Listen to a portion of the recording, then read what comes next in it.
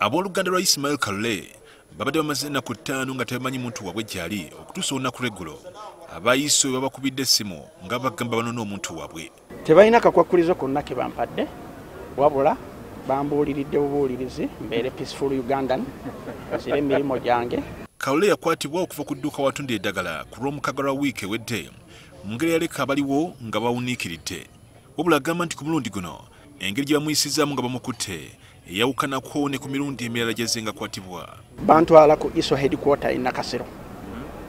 Bwe twatuukaawo ne tubeeraawo era ne twogeramu katono n'omukulu then ne bantwala gye bantereka ti obulamu bwo buba bwakanyigo ne psychological torture olwokuba nti ekifuuwuli wafunda tomanyi na gy'oli emirundi eno gyabadde nga akwatibwa ebibadde nga bimubuuzibwa bibadde nga byekuusa ku butujjo. Wabula agamba nti kajojojo w'ebibuuzo yabadde ku ddwaliro lye eddagala lyatunda ko n'obukugu bw'alina ng'omusawo ono ategeezezza nti eddagala lye lingi ko n'ebiwandiiko by'abalwadde be byawambiddwa ebyokwerinda ku luno bennyini bo bayogedde nti maybe amalagalo g'okozesa geetaaga okwanalizinga n'okugatunuulira matuufu gakozesa wano oba nedda.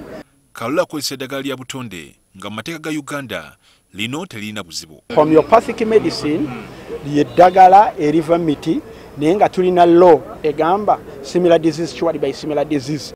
Kalula azze nga akwatibwa era n'ateebwa ab'ebitongole by'ebyokwerinda era nga ne mu mwaka gwa 2016 oluvannyuma lwa kkooti enkulu okumwejjereza yaddamu n'akwatibwa. Poliisi yavaayo neetegeeza nga bwe talina musango gwonna ku kalule wabula nga tekinnaba kutegerekeka bulungi. Lwaki ebitongole by'okwerinda ebirala okuli iso ne cmy bikyagenda mu maaso n'okusigala nga bimukwata ate mu ngeri ey'obukambwe njagala bategeeza nti ah, poliisi yaffe y'ekira etwala omuzikiti ah, sheikh dr ismail wakolera. Tebannaba kufuna alipoota yonna ono alina kyalowooza ekiyinza okuba nga kimuviiriddeko okusigala ng'akyayigibwa nina abalabe bangi tubeera mu nkaayana ez'emizikiti ng'ogw'entinda ng'ogw'ekiwaatule n'ewalala enkaayana ezo zireetera abantu okutwala wrong information abantu bangi bazze bavumirira engeri abantu gye bakwatibwamu waabwe ebyokwerinda era nga ne mu desemba w'omwaka ogwedde omukulembeze w'eggwanga yoweri museveni naye yalaga nga bw'atali mumativu na nkwata y'abantu mu ngeri eno awatali kusooka kukola kunoonyereza kumala I totally agree.